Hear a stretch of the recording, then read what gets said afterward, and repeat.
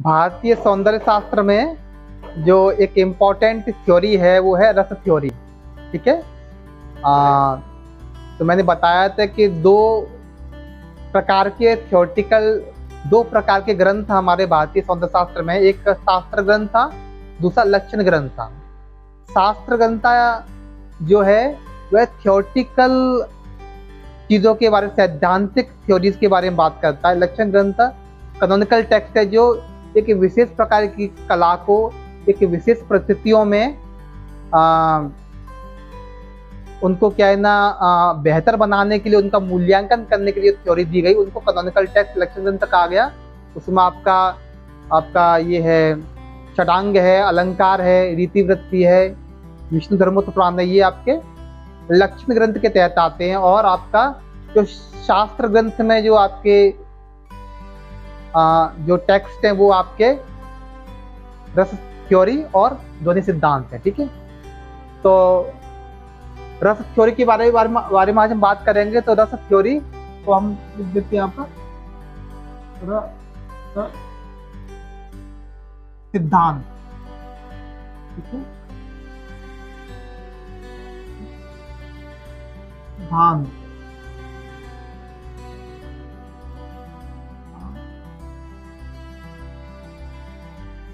सिद्धांत कैसे लिखेंगे ठीक है? ओके? तो रस सिद्धांत या रस थ्योरी को पहली बार भरत मुनि ने अपने प्रसिद्ध ग्रंथ भरत नाट्य शास्त्र में इंट्रोड्यूस किया था फ़र्स्ट सेंचुरी एडी के आसपास ठीक है? तो इंट्रोड्यूस बाय भरत मुनि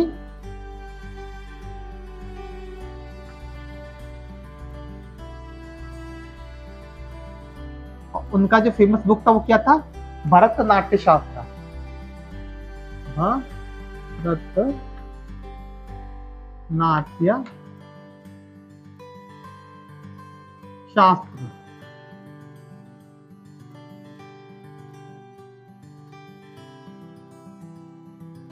भरतनाट्य शास्त्र को फ़र्स्ट सेंचुरी एडी के आसपास लिखा गया था और नाइन्थ सेंचुरी जब ध्वनि सिद्धांत आया था, आनंद बंदा ने नाइन्थ सेंचुरी धन्य सिद्धांत को दिया था। उससे पहले भारतीय सौंदर्य शास्त्र के इतिहास में कोई भी मेजर थियोटिकल टेक्स्ट नहीं है। तो ये आपका फ़र्स्ट सेंचुरी एडी के आसपास को इंट्रोड्यूस किया गया था। ठीक है? क्योंकि भरत मुनि सारी कलाओं पे लिखना चाहते थे। भरत मुनि एक ऐसा टेक्स्ट लिखना चाहते थे जो सारी कलाओं, कलाएँ जिससे लाभान्वित हों, सारी कलाओं का जिससे उद्धार हो। तो इसलिए उन्होंने the mother of all arts, नाट्य को भारतीय संदर्भ में सारी कलाओं की माता के रूप में समझा जाता है, क्योंकि सारी कलाओं का उद्भव मंदिर से हुआ और मंदिर में देवी देवताओं की अर्चना पूजन के साथ में जो नृत्य और वाद्य की शुरुआत हुई थी और नृत्य ही पहले हमारे जो भारतीय परिप्रेक्ष्य में नृत्य ही पहले नाटक का स्वरूप था। नृत्य ही, नृत्य नाट्य कह सकते हैं। नृत्य ही नाटक का स्वरूप था। नाटक का जो स्पेशल विदाई, जो ड्रामा है थिएटर थिएटर ये बाद में आया, लेकिन शुरुआत में हमारे देश में नृत्य ही नाटक का स्वरूप था। तो भरत ने नाट्य को ठीक है? नाट्य को थेटिकल एंड थेटिकल आर्ट्स जो नृत्य है और नाटक है इनको परिपक्व बनाने के लिए इस शास्त्र को लिखा ठीक है? इसीलिए इसको आ, पंचम वेद भी कहा जाता है क्योंकि जो अगर भारतीय का जैसे भारतीय अगर हम वेद उपनिषद की बात करें तो वहाँ पर जो जैसे ज्ञान की बात की गई वो एब्स्ट्रैक्ट है वो निर्गुण है। जो निर्गुण की बात की गई है लेकिन निर्गुण को क्या है ना कि आ, वो इंटेलेक्चुअल टेक्स्ट को जन साधारण को नहीं समझाया जा सकता ठीक है? निर्गुण जो निर्गुण का जो कंसेप्ट है वो बहुत ही बौद्धिक है इसको जन साधारण को नहीं समझाया जा सकता इसलिए उसको सगुण बनाया गया ठीक है? और देवी देवताओं की कल्पना की गई देवी देवताओं को जो प्राकृतिक शक्तियों को, देवी देवताओं के रूप में, उनका मानवीकरण करके देवी देवताओं के रूप में प्रतिष्ठित किया गया और उनकी पूजा आराधना की गई मंदिरों में। और पूजा आराधना किसके माध्यम से की गई की गई थी? कलाओं के माध्यम से। ठीक है? यज्ञ हवन तो होते ही थे साथ में, जो कलाओं के माध्यम से उनकी, उन देवी देवताओं, उन उन क्या है ना के जो सिंबल्स को, ठीक है? आराधा जाता था, उनको उनको फोकस किया जाता था। तो इस तरह से जो दुर्लभ जो एब्स्ट्रैक्ट इसे कह सकते हैं एब्स्ट्रैक्ट जो नॉलेज है, उसको क्या है ना जन जो वेदों, उपनिषदों का जो दुर्लभ एब्स्ट्रैक्ट नॉलेज है, उसको क्या है ना, जन साधारण तक पहुँचाने के लिए इस नाट्यशास्त्र को लिखा गया और जो डायरेक्टली कलाओं को समर्पित है, ठीक है? और कलाओं की जो मदर है, नाट्य, ठीक है? हाँ theatrical arts dance and theatrical art को समर्पित है। तो इसीलिए इसको पंचम वेद भी कहा जाता है, ठीक है? पंचम वेद। पंचम वेद का मतलब यह पांचवा वेद है जो आत्मज्ञान को, परमात्मा के ज्ञान को जो अल्टीमेट नॉलेज है उसको क्या है ना जन साधारण तक पहुँचाने का लिए जन साधारण उससे लाभान्वित हो इसलिए पंचम वेद भी इसको कहा गया है ठीक है? अब यहाँ पर जो आ, इस भरतनाट्य शास्त्र में बेसिकली 26 चैप्टर्स हैं इसके क्या है ना इट हैज़ 26 चैप्टर्स चैप्टर्स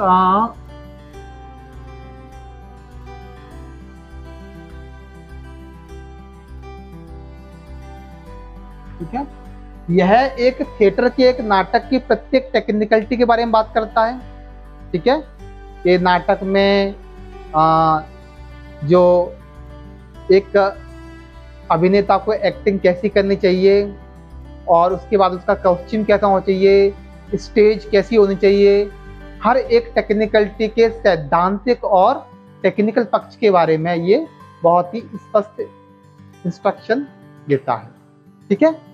तो पंचम वेद ट्वेंटी सिक्स चैप्टर्स और इसमें जो सबसे इंपॉर्टेंट वो है रस थ्योरी ठीक है? रस सिद्धांत, ठीक है? तो हम इसके बारे में चर्चा करें। तो इसमें भरत मुनि ने एक फ़ेमस इस नाट्य शास्त्र के फ़ेमस श्लोक है, उसको मैं आपको समझा तो वो श्लोक का अगर हम समझ जाए तो रस थ्योरी को समझ जाएँगे, ठीक है? तो वो है आपका भाव अनु भाव और चारी भाव।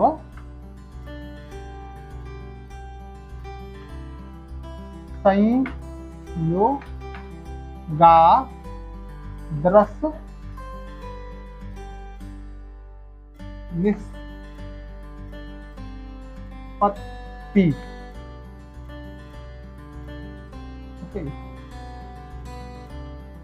विभाव अनुभाव व्यवचारी भाव संयोगाद रस निष्पत्ति। ये इनका जो रस सिद्धांत को समझाने वाला एक एक श्लोक है। इससे पहले आ, जो भरत मुनि है स्थायी भाव की बात करते हैं ठीक है? इस श्लोक को हम समझाने से पहले हम एक और पॉइंट पर बात करते हैं वो है आपका आ, इतना ये हो गया इसको हम जैसे इरेज करते हैं, ठीक है? तो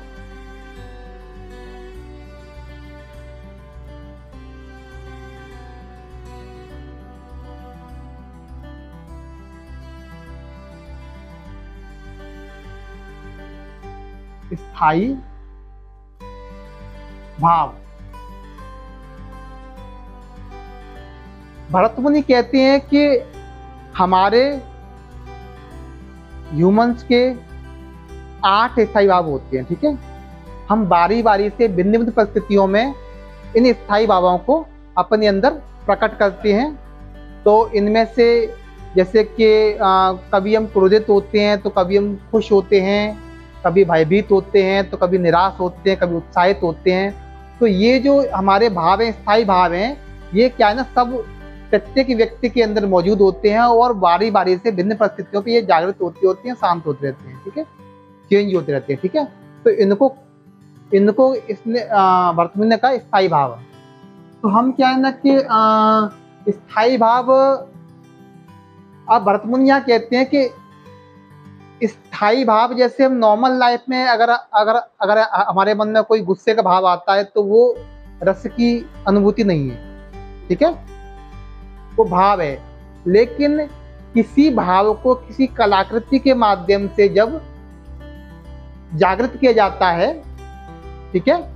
किसी कलाकृति के माध्यम से किसी भाव को प्रकट किया जाता है किसी नाट्य के माध्यम से किसी संगीत के माध्यम से किसी चित्र के माध्यम से कोई स्थायी भाव हमारा जागृत होता है तो वहाँ पर जो हमको अनुभूति रस की अनुभूति अनुभूति होती है ठीक है?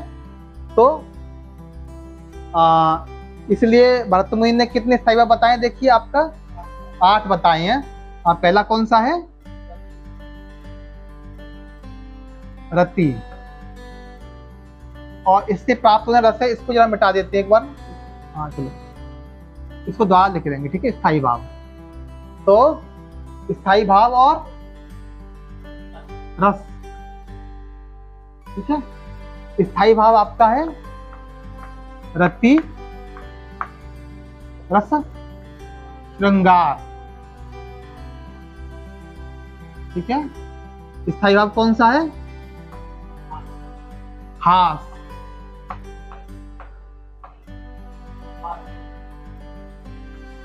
हास्य। ठीक है?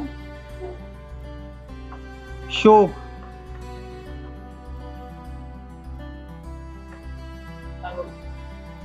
करुण रस।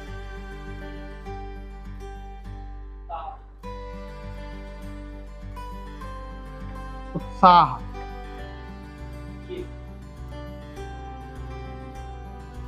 वीरस क्रोध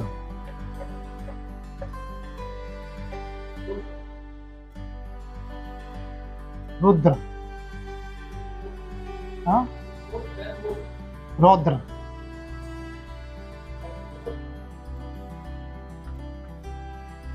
रौद्र ओके रौद्र रूप कहते भी है ना। भाया। भयानक।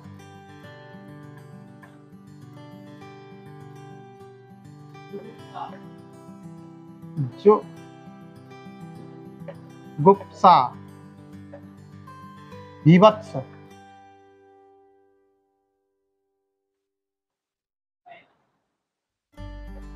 विस्मय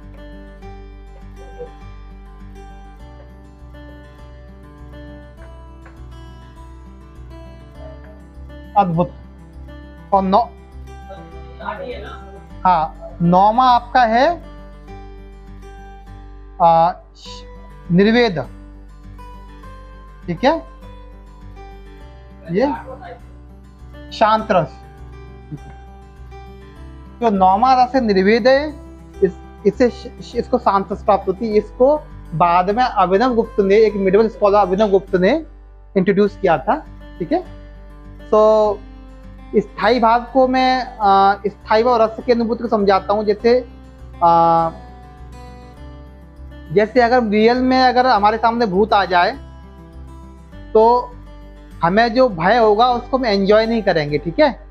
लेकिन जब हॉरर मूवी देखते हैं तो उसको हम एंजॉय करते हैं क्योंकि हमें पक्का पता है कि वो नकली है वो हमारा वो भूत जो पर्दे पर हमारा कुछ बिगाड़ेगा नहीं। समझे ना? ठीक है?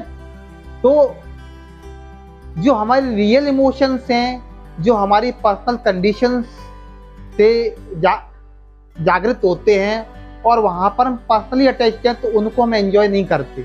वहाँ तो हम घबरा जाते हैं ठीक है? ओके लेकिन जब उसी फीलिंग्स को क्या है ना किसी कलाकृति के माध्यम से कृत्रिम रूप से क्रिएट किया जाता है तो वो हमारे लिए रस की अनुभूति बन जाती है ठीक है? इसीलिए जब रति रति की फीलिंग जागृत होती है हाँ? रोमांटिक तो या फिर श्रृंगार अनुभव होता है। हास्य, जब किसी फ़िल्म में, किसी नाटक में, किसी पेंटिंग में कार्टून के माध्यम से जब हमें व्यंग किया जाता है तो वहाँ पर हमें हास्य रस प्राप्त होता है। शोक, कोई ट्रेजिडी होती है, जैसे हेमलेट के जितने भी क्या ना, उसके शेक्सपियर के जितने भी नाटक अथल्लो हैं हेमलेट हैं तो दे आर ट्रेजिडीज ठीक है? तो उसके बाद जो क्या है ना कि शोक के शोक का शोक की फीलिंग क्रिएट की जाती है। कला के माध्यम से करुणस प्राप्त होता है, उत्साह वीरस जैसे आपका बाहुबली फ़िल्म है। हाँ तो जब हाँ वीरस की प्राप्त होती क्रोध हाँ सनी देओल जब क्या कहते हैं, गुस्सा करता है तो हाँ रौद्र, ठीक है? भय और फ़िल्म देखते हो, ठीक है? जगुस्सा भीभत्स जगुस्सा भीभत्स गिल्टी। ठीक है, गिल्ट। भीभत्स गिल्ट है ना? ओके? जब हमें हेलो? हाँ बताओ। हाँ। विस्मय, आश्चर्यचकित हो जाना। ठीक है? जैसे कृष्ण भगवान ने जब अपना विश्व रूप दिखाया तो अर्जुन क्या है ना, विस्मय, आश्चर्यचकित हो गया तो उसको अद्भुत रस का अनुभूति हुई। ठीक है? निर्वेद निर्वेद ये अभिनव गुप्त ने बताया कि जब सारी फीलिंग्स क्या है ना कि बारी बारी से जब अटेन हो जाए या फिर एक साथ अटेन हो जाए तो उसके बाद हम शांत हो जाते हैं तो शांत रस ठीक है? कोई भी कोई भी जब भावना नहीं होती तो शांत रस या फिर जब हम ईश्वर की भक्ति और ध्यान में होते हैं तो उस वक्त हमें जो रस की अनुभूति होती है वह शांत रस की होती है ठीक है? ठीक है? फाइन तो स्थायी भाव इज़ क्लियर ओके तो अभी हम नेक्स्ट जाते हैं।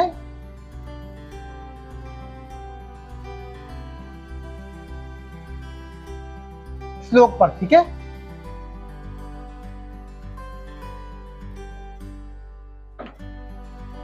हाँ समझ में आ रहा है? ओके विभाव अनु भाव व्यधिकारी भाव, संयोगा दस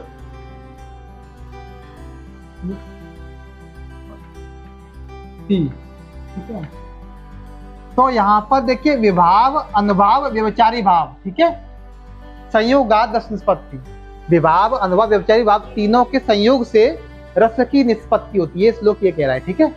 तो विभाव का यहाँ पर क्या अर्थ है? विभाव नंबर वन विभाव का मतलब है यहाँ पर अभिनेता, ठीक है? या अभिनेता के एक्टर है? ओके अनुभाव का मतलब क्या है? एक्टिंग अभिनय। ठीक है? एक्टिंग के तीन पार्ट है। नंबर वन अंगिका। नंबर टू वाचिका। नंबर थ्री आर्य। ओके और व्यवचारी भाव नंबर यहाँ पे है। आ, ए बी सी चारी भाव। ओके तो किसी भी थिएटर में, किसी भी प्ले में, किसी भी नृत्य में जो मेन जो एक्टर होता है, जैसे फॉर एग्ज़ाम्पल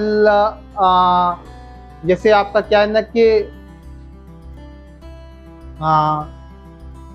शिव शिव जी का जो तांडव नृत्य है, ठीक है? यह अक्सर क्या है ना, भरतनाट्यम, इन सब जो डांस फॉर्म में इनको दिखाया जाता है, ठीक है ना? तो वहाँ पर जो शिव जी का जो जो एक्टर शिव जी का अभिनय कर रहा है या शिव जी का रूप धारण किया, वो क्या है ना विभाग हो जाएगा, ठीक है? एक्टर ठीक है? अनुभव मीन्स एक्टिंग अब वो जो भी कर रहा है, जो भी उसकी बॉडी लैंग्वेज है, अंगिका मतलब बॉडी लैंग्वेज जो भी मूव्स कर रहा है, जो भी स्टेप ले रहा है तो अंगिका, ठीक है? वाचिका, जो वो डायलॉग बोल रहा है, ठीक है?